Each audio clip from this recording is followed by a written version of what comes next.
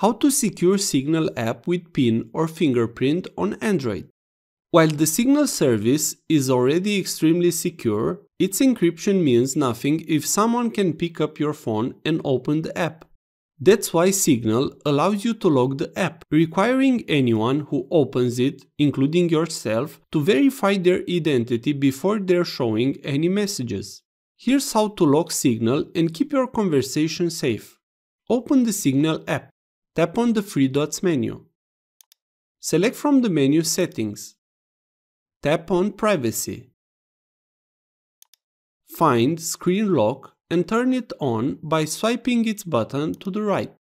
You can also set up Screen Lock Timeout settings, which let you unlock Signal once, then have the ability to open it without a passcode for a short time afterward. Also, if you enable screen security, then the phone will not be able to take screenshot for conversations. Let's test the security. I will leave my phone inactive for one minute and then we will enter on the Signal app. One minute has passed. Let's open Signal. You see, I need to put my PIN.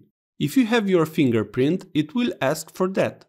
After I put the correct PIN, the app opens up. This is how you secure Signal app with a PIN or fingerprint on Android. If this was useful, please like, share and subscribe. You can also watch more videos from the right.